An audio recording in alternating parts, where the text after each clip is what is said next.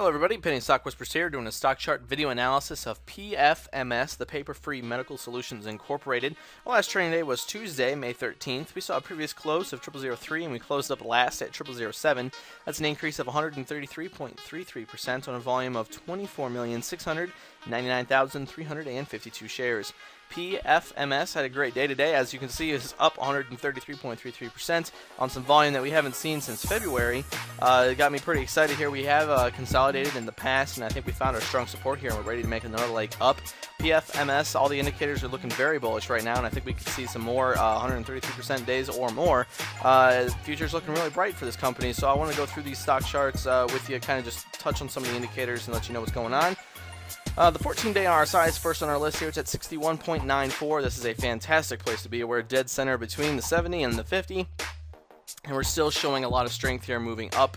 Uh, this is very good sign here. This is the uh, what's known as the buy region. So trading between the 70 and 50 is a great place to be. Even crossing over the 70 like we did back in February is not too bad. As you can see, the price movement uh, is pretty significant when we cross over that and get into that bullish zone. So keep your eyes on the 14-day RSI. I'm pretty excited about that one. Moving on down here into the daily charts, you can see that we found our support right here at 0003. We finally uh, built up enough power on this and pushed through it, not only crossing above our uh, 13 day or 26 day EMA, this green line right here. We also closed above our 50-day moving average, which is a big deal. As you can see also, uh, the uh, red line here, this is our 200-day moving average, is slowly creeping its way up towards that 50-day moving average, which has started to level out since the decline in the uh, middle of February. So, uh, impending, we have a you know golden cross crossover coming in the next couple weeks, maybe even uh, you know a month or two down the road. But that's always something you want to keep your eye on. Looking long term on this stock, it's looking pretty good.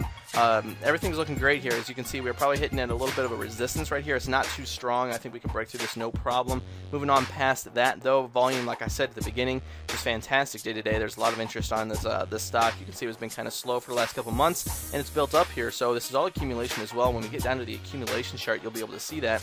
Pretty excited about that one as well, but that's that's down the road. So uh, let's take a look at our MACD line here. You can see that it is finally also looking very bullish as well. Uh, it tanked pretty hard there in February. We got all the way down underneath our, our uh, zero line, and uh, we finally just crossed over not too long ago. Right when we hit our bottom, you can see that those correlated really well where we crossed over our signal line and found our support right there. Now that's something you want to keep your eye on for future trades as well. And you can see that we are moving up nice and sharp towards that zero line, showing some more strength in the MACD. This has only just begun, and I want you guys to keep your eyes on it.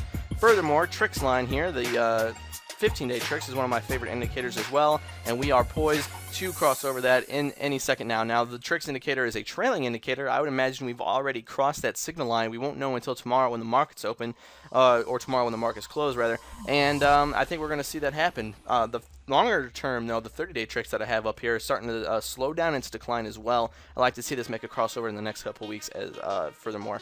Uh, moving on down to our slow stochastics, also looking bullish. We crossed over our uh, bottom line now. We're at 33.33 currently, and the signal line is in uh, in pursuit. CCI looking good as well. We're very uh, bullish right now at 233.77, far above that 100 line in the bullish buy region. Uh, down here on the stochastic RSI, also looking great now. The stochastic RSI is very volatile. It moves up and down really fast, as you can see. So what we want to keep our eyes on is this 14-day moving average, which is just about to cross over that 0.5 line and cross into that buy region. And uh, that's a really big sign for us as well. Now the Chaikin money flow is looking very good. We were in decline as well on this one.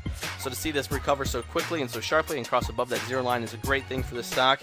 The 14-day ADX is looking pretty good as well. It's not quite relevant yet because the ADX line itself is only 20.06, but the positive and negative DI are diverging pretty sharply right here, showing that we are signaling uh, right into an uptrend here. So uh, keep your eyes on this. Hopefully that ADX line will uh, repair itself here pretty shortly. We should see that uh, become more relevant as time goes on.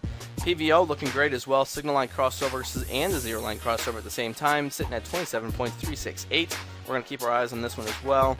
Uh, money flow index also looking good, just crossed above the 80 very quickly there. It's 87.52. We're going to close up this analysis with the accumulation distribution chart, which is showing some great strength right here. Suddenly renewed. Everyone's all excited about this again. I would do want to point out as well a very significant thing when we saw that massive crash back in February. You can see that it affected all of our charts very harshly, pushed them all the way down and um, that's pretty upsetting. However, it didn't do that to the accumulation distribution chart. Now that means that a lot of investors have been holding for a while and they want to see some big gains on this, and I'm pretty excited about that. So uh, all these new uh, shareholders are also going to help push the strength up as well. I think we found a new uh, support, and we're going to continue moving upwards as the days and weeks go on. So Thank you guys for watching. If you have any questions or comments, please leave them in the comment section below. I'll be happy to take a look at them. If you're on the go, I recommend you download our Android mobile app. It's Penny Stock Whispers as well. You can download that and uh, get all this stuff on the go, stock chart videos, more information about the company. And for your home computer, just sign up at pennystockwhispers.com and uh, we'll get you some more information on this stock and many others. Once again, thank you guys for watching. Best of luck in the markets tomorrow.